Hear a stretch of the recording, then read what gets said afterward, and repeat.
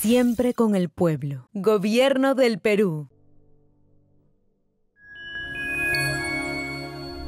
Bicentenario del Perú 2024.